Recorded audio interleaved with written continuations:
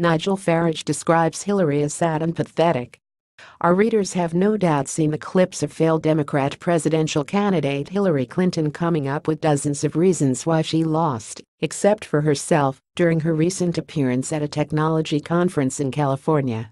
According to the Daily Caller, British politician, Brexit movement leader, outspoken supporter of President Donald Trump and Fox News contributor Nigel Farage joined the Fox and Friends crew Thursday morning to discuss Clinton's comments and let's just say that Farage didn't have much of anything nice to say about them.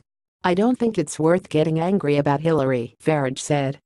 I just think she looks sad and pathetic. There is nothing worse in life than a bad loser. Nothing worse than somebody who blames absolutely everybody else for their own failings. Let's face it, she represented an out-of-touch, out-of-date establishment, he continued. She almost appeared as if it was her right to become the president, and I'm very pleased she didn't. Let's just, I tell you what, from now on, let's just ignore her, said Farage.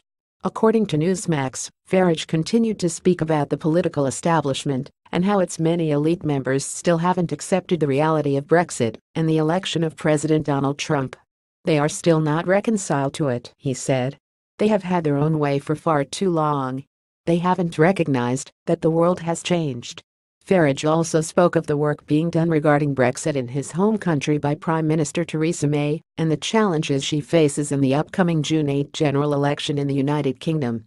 The outspoken British politician also addressed the Kathy Griffin severed Trump head fiasco and noted that he was glad to see so much kickback against the unfunny comedian, relating it to his own experience with a British comedian who has publicly called for Farage to be stabbed yet is still accepted by society and is even featured regularly on the BBC. You can watch his entire interview below. Farage was definitely on target when he said that Hillary Clinton looked sad and pathetic as she grasped for whatever straw she could in search of anything to blame her dismal electoral showing on. His suggestion that Americans just ignore her was also a good one, though the Democrats and their media allies are unlikely to follow it. But the country would be better off if Hillary would just go back to walking quietly in the woods around Chappaqua while Trump, conservatives and Republicans attempt to fix what Clinton and her ilk have screwed up. Please share this on Facebook and Twitter so everyone can see what Nigel Farage had to say about Hillary Clinton. What do you think of what Nigel Farage said about Hillary Clinton? Scroll down to comment below. Thanks for watching. Please subscribe my STC News channel. Goodbye and see you again.